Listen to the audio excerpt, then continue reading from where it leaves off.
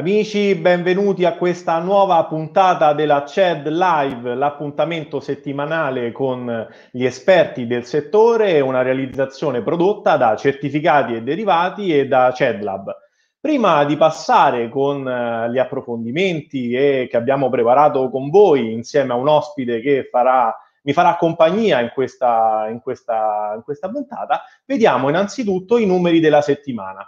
Quindi lancerei un servizio per vedere come si sono comportati i mercati e come sono andati i nostri certificati di investimento.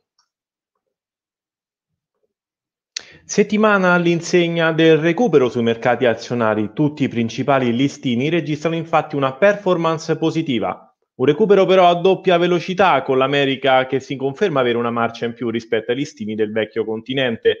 Guardando infatti alla performance da inizio anno, il Nasdaq ha praticamente ricucito lo strappo ribassista, mentre il FTSE MIB, maglia nera dei listini principali, segna ancora un ritardo di, be- di ben 28 punti percentuali sempre segno rosso per l'Eurostox 50 a meno 23%, leggermente meglio il DAX al meno 20%. Il, il rally dei titoli tecnologici americani ha fatto aprire un significativo divario anche tra i diversi listini statunitensi, con il Standard Poor's 500 che accusa comunque un ritardo di 14 punti percentuali, con il Dow Jones a meno 18%. Guardando ai principali sottostanti dei certificati di investimento, tra i flop di questa settimana il titolo tedesco Hertz a meno 21,25%, prezzo del greggio che segna un meno 18,23% e appesantisce l'intero settore Settimana contraddistinta ancora da vendite per il comparto delle aviolinee con American Airlines, United Airlines e Delta Airlines che segnano ribassi nell'ordine del 10%. Tra i top performer della settimana svetta il recupero del titolo Tesla, capace di incrementare il proprio valore di ben 30 punti percentuali titoli tecnologici che occupano i restanti spazi di questa top 10 con Netflix e Amazon il rialzo del 18%, seguiti dai titoli della componentistica come AMD e Nvidia, bene anche Nokia che recupera circa il 10% sui rumors di takeover ostili sul titolo. Tra le variabili di mercato che è doveroso osservare, soprattutto nell'attuale contesto, la volatilità di mercato prosegue la sua discesa. Il VIX statunitense viaggia in area a 39,6, mentre l'analogo europeo, il VSTOX, si attesta a quota 41. Siamo a metà strada tra i livelli medi dell'ultimo biennio in area 20% e i massimi storici raggiunti a fine marzo oltre soglia 85%. Tra le novità della settimana, ben 105 nuovi strike quotati sul secondario, di cui quasi la totalità a capitale protetto condizionato con premi periodici.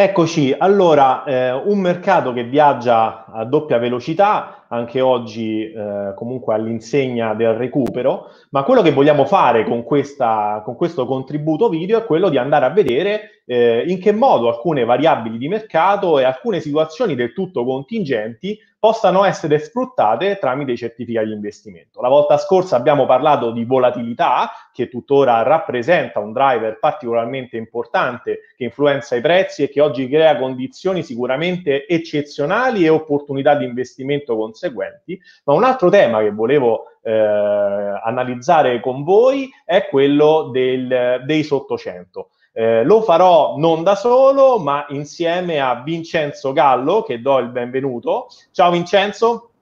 Ciao Giovanni e buonasera a tutti. Allora, Vincenzo Gallo è responsabile dell'ufficio studi di certificati e derivati e analizzerà con me una situazione del tutto atipica che oggettivamente Vincenzo non vedevamo credo dal 2011 questi spazi diciamo che si sono aperti eh, sul segmento dei certificati a capitale protetto incondizionato e c'è un motivo per cui tutto questo si è reso possibile. Eh, si è reso possibile perché, ecco, io ho messo qui un grafico eh, del, del, famoso spread, che ricordiamo essere eh, il differenziale di rendimento tra un BTP decennale e l'analogo Bund tedesco di medesima scadenza, che rappresenta un pochino quanto, eh, quanta tensione c'è, chiamiamola così, sul mercato obbligazionario dei titoli di Stato. Eh, spread che eh, si muove non solo in considerazione di cattive notizie o comunque un sentiment negativo sul, uh, sui titoli di Stato italiani, perché eh, viene influenzato anche dalla pressione eh, di acquisti che eh, sono soliti eh, vedersi sul Bund tedesco, considerato ecco, bene rifugio per eccellenza, però ecco, ci dà una sensazione di come i rendimenti di mercato si stanno muovendo, quello sì. Eh, rispetto a eh, un recupero eh, che, che, c'è stato, ecco, lo vediamo, lo vediamo dal, grafico, dal grafico che vi ho messo, rispetto a un recupero che c'è stato eh, nel, nelle scorse settimane, ecco lo spread sta tornando, eh, sta tornando a salire. Eh, ecco Vincenzo, eh, aiutami tu, eh, perché monitoriamo eh, questo spread e in particolar modo perché ci interessa per noi che facciamo analisi e osserviamo l'andamento dei certificati, guardare in che modo si apre il differenziale o comunque eh, i, i rendimenti dei titoli di Stato italiani aumentano e di conseguenza questo eh, fa sì che anche i titoli adesso eh, strettamente legati, mi viene di, da pensare come molte banche italiane che sono ovviamente anche emittenti di certificates, eh, eh, insomma hanno, eh, si ripercuotono nei prezzi dei certificati a capitale protetto incondizionato.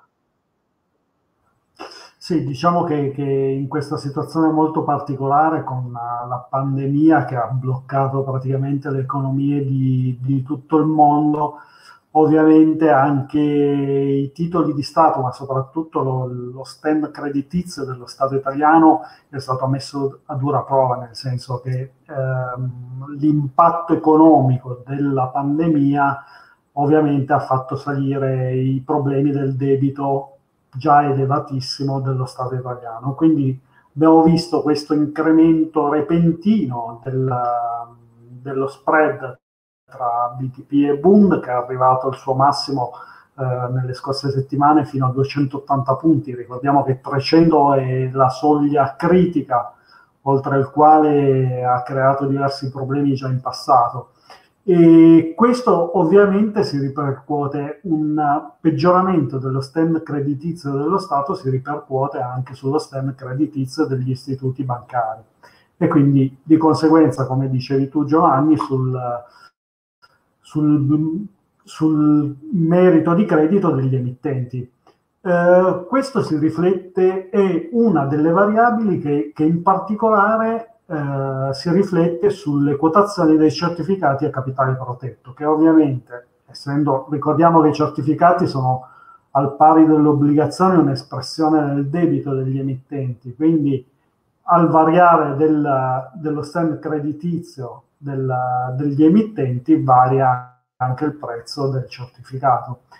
In questo senso, quindi aumentando lo spread tra BTP e Bund e di conseguenza lo stem creditizio del, degli emittenti, si sono create nuovamente delle opportunità che nel, nei mesi scorsi erano, si erano praticamente esaurite.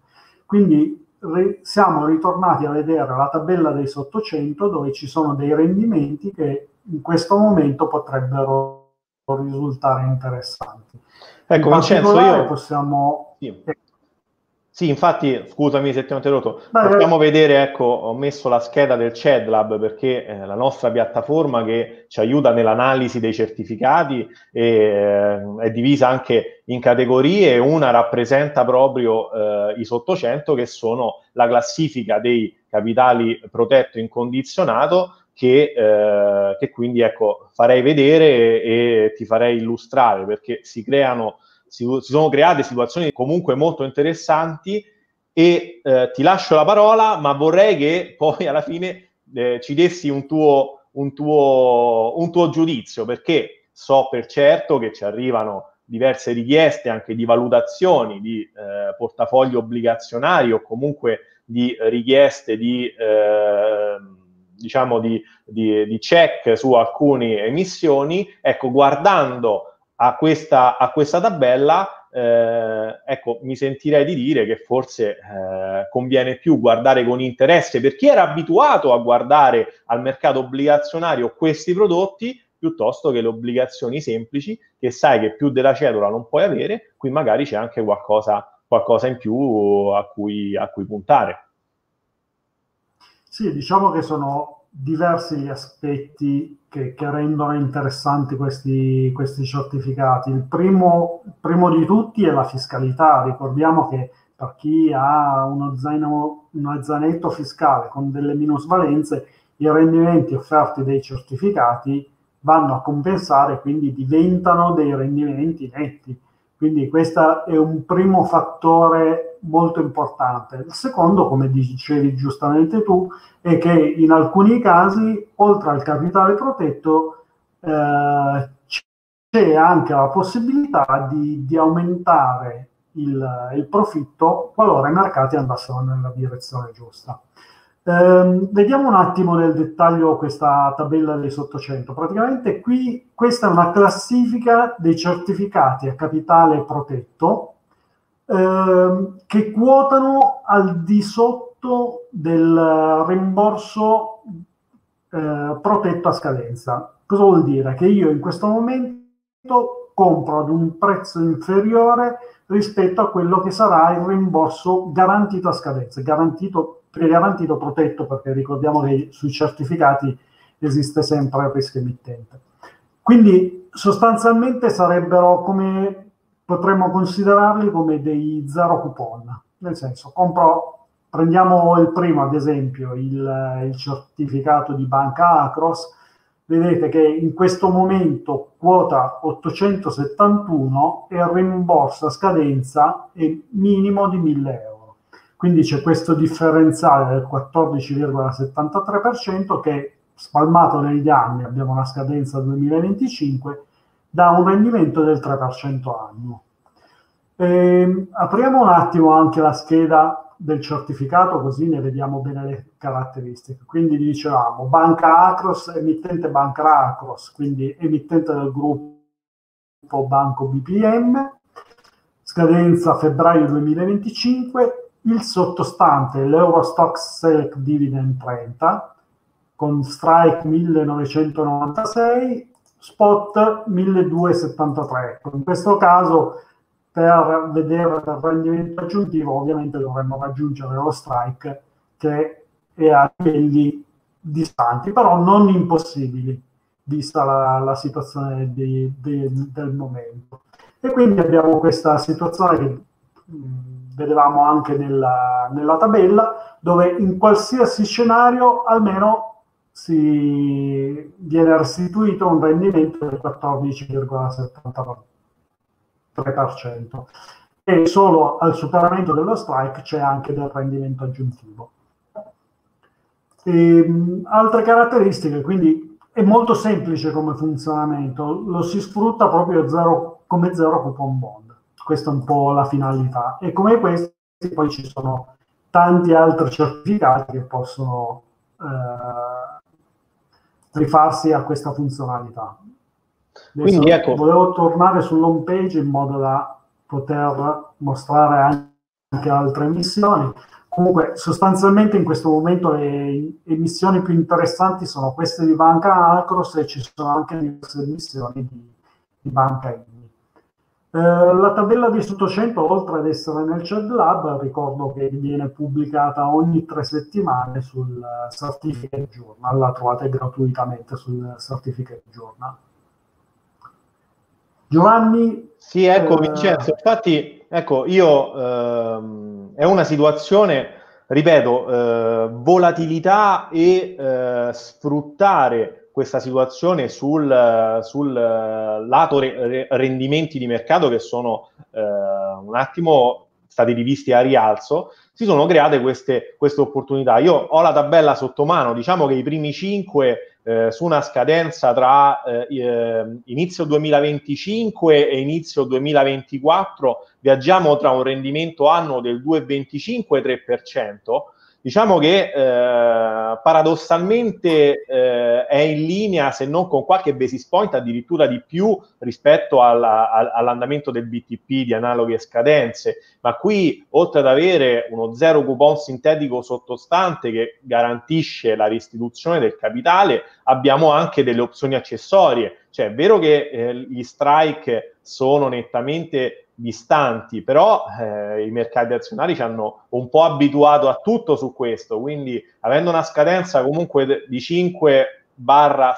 5 anni e mezzo, beh, quell'opzione potrebbe iniziare eh, in un momento della loro vita a apprezzarsi, a, a iniziare ad apprezzarsi, ecco, quindi per chi ci chiede ma eh, obbligazioni che ne pensate, eccetera, avendo questi rendimenti sul fronte del con opzioni accessorie che comunque potrebbero iniziare ad avere valore, ecco, diciamo che eh, questa tabella e questa tipologia di investimento potrebbe avere senso e avvicinare anche ai certificati di investimento quella clientela e quegli investitori eh, che eh, guardano con con eh, diffidenza e rischio. Stiamo parlando sempre di capitale protetti incondizionati e comunque su emittenti da uno standing creditizio insomma in linea con il rischio Italia ecco eh, quindi sì, no davvero possiamo anche dire che comunque la scadenza è vero che è 2024-2025 ma nel caso in cui le tensioni dovessero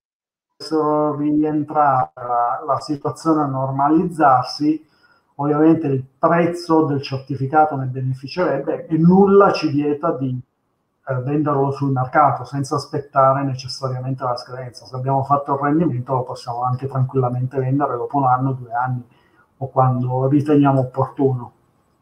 Certo. Comunque, allora io ehm diciamo che sul format del, del, della nostra realizzazione video, ecco, abbiamo raggiunto il, il tempo massimo che ci siamo, che ci siamo prefissati.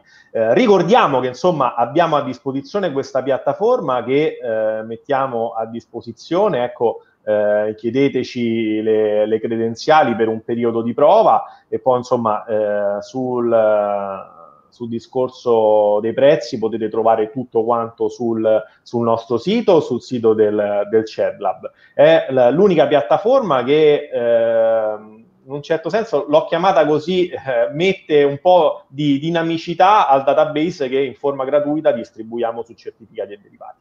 Quindi unendo il database con prezzi dei certificati, prezzi dei sottostanti, viene fuori il CEDLab, che è una piattaforma che consente di avere in un solo clic eh, tutte le informazioni sul certificato, tutti i prezzi, tutte le cedole per i certificati eventualmente con premi periodici, il, lo scenario di rimborso a scadenza che in questo momento è particolarmente utile e ci aiuta a eh, selezionare quei certificati maggiormente interessanti rispetto ad altri e eh, troverete delle tabelle, quindi anche sotto 100, i migliori bonus cap, le prossime scadenze e una tabella con la vetrina con i certificati che riteniamo essere più interessanti.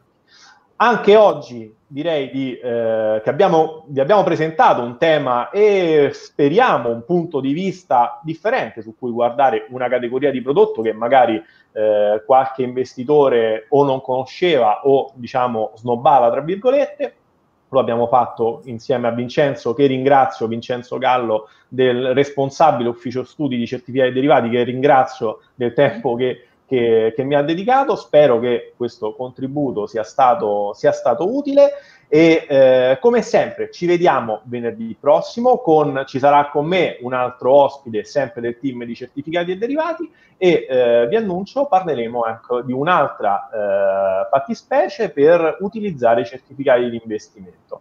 Eh, io vi lascio, spero che questo contributo vi sia piaciuto, lasciate i commenti qualora qualcosa non sia andato bene, spero di no, ma anche qualche suggerimento su dove eh, volete che fossilizziamo la nostra attenzione e la nostra analisi, ci vediamo settimana prossima per qualunque necessità. Questi sono i nostri siti, quindi CEDLive è una produzione di certificati e derivati e CEDLab. Spero che insomma anche questo contributo sia stato di vostro gradimento. Buon fine settimana e ci vediamo venerdì prossimo.